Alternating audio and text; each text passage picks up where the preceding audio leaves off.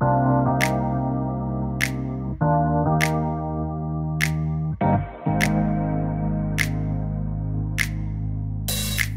save the best for the last. This one I picked up in Thailand. In Koh Samui, on the beach, I had grilled oysters with a fishy vinegary sauce on the top and some crisp. I'll never forget the taste. So, what we will do is, we just take the oysters, we'll put it on our e-barbecue,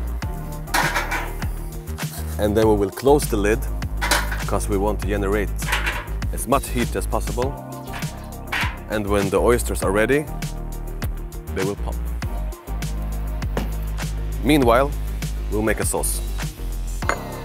So we'll have Thai fish sauce,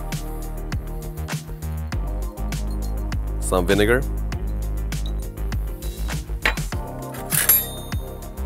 lime, some garlic,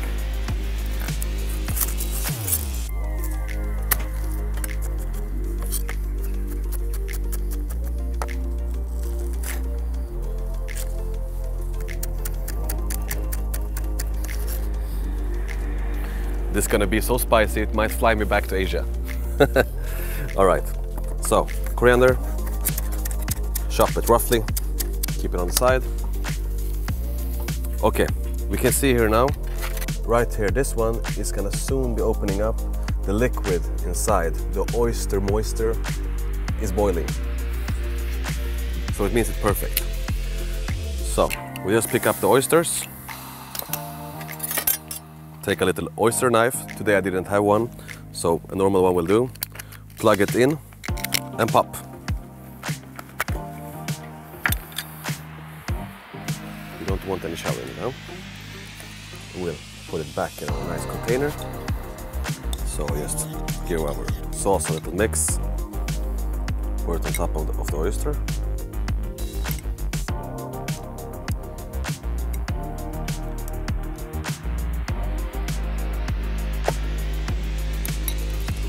and then some coriander.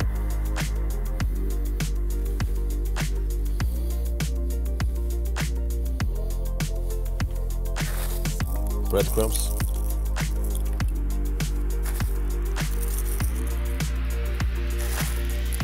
And let's go to Thailand.